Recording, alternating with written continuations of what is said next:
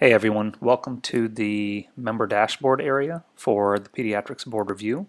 I just want to create a quick tutorial so that you know exactly how to maximize this members only area. Basically there are three main areas that you are going to be using. There is this button which will take you to the core study guide in a PDF scrolling type of format. There's this button which will take you to the scrolling format of the online question and answer book okay. And then in order to access the online pediatrics board review course study guide you'll actually use this right hand side. Along the same lines when you're using a mobile device or a tablet you will not be able to access the scrolling areas for the materials but instead you can access the core study guide from this area. The scrolling formats are not available and the Q&A book is not available, but the core study guide is available, and that's through this area to get a better idea of how to use your mobile device with this particular format. Just click over here and um, you should have a nice little tutorial.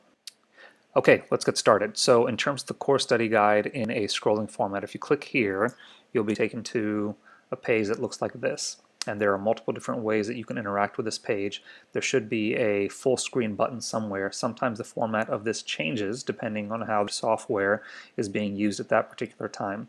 Uh, the best way I think to use this particular uh, format is to click over here. This will give you a full screen view. The words will be nice and big and if you wanted to scroll to a particular page you can simply click that here. So let's just go to page 40 okay. And here is page 40 and if this is just way too big for you. You can simply use the magnifying glass to adjust it. And if you see a link somewhere that you'd like to click on you can click on the link. It'll open up in a brand new tab. You can view that link review the image that you have been directed to. And then once you're done simply close it and you won't miss a beat. So it's extremely efficient. Along the same lines, if you were to click this button right here, the online Q&A book, you'll be taken to this page and you can do the exact same thing. Okay, now I want to show you how to use the iPad compatible version of the book. A lot of people like to use this version of the book on their desktop and uh, if you'd like to use uh, the members only course study guide on your iPad, tablet, or other web-enabled mobile device, you can do so using the right right hand side of the page. All you have to do is go over here, click on table of contents, you'll end up on this page, you'll see a list of every single chapter over here. Uh, all of those are also hardwired into the website over here. So let's say we wanted to start on the very first page of the PBR course study guide. You can click over here on copyright information, read through it, and as you get to the bottom on the right hand side you can see what the next topic is going to be within the book.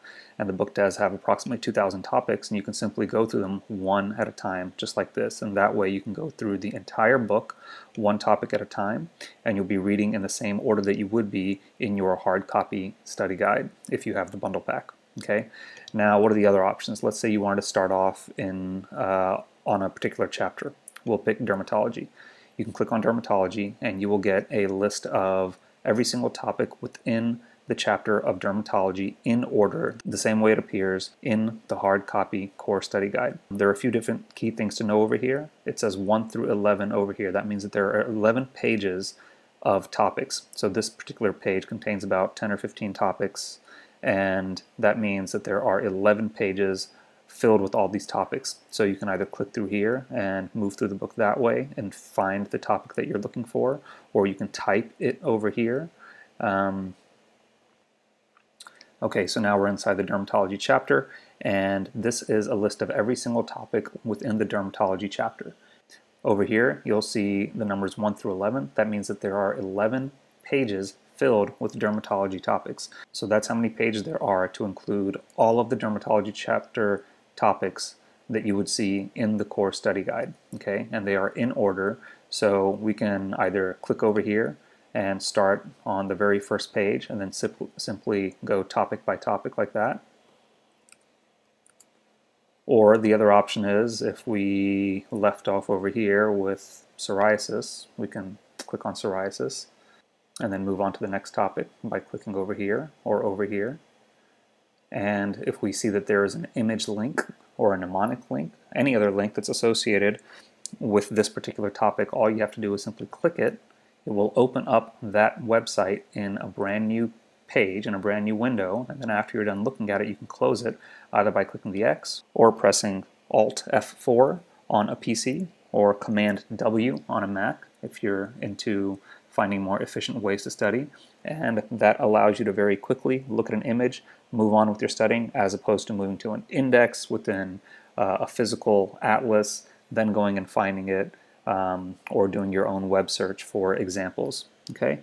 Now let's say that you wanted to start in the middle of a chapter, but you don't want to go through this long process from anywhere. You can simply just type it right here. Um, let's say you wanted to start with psoriasis. You can click that. You can type that in here, press enter. My platform will return every single topic within the entire course study guide that includes the word psoriasis. In my book, there are only two places where you will find the word psoriasis, and that is guttate psoriasis and psoriasis. And from here I can say, oh yeah, that's right, I remember leaving off on psoriasis. So I click over here, and it puts me right back in the middle of the book within the dermatology chapter at that topic. And if I'm ready to move on to the next topic, I can simply click this arrow or the one down here, and then I can just continue going on through the entire book. Okay, so I hope that gives you a good idea as to how to use this. Uh, in terms of using it on the iPad, there's a separate video, but essentially it's the exact same. And um, just an advanced tip about when you use your iPad or mobile device, if you tilt it over on its side and you're viewing it horizontally, you'll get a much better user experience. So like I said, if you have any questions, let me know, and I hope you enjoy using the online materials as much as I enjoyed creating them. Take care.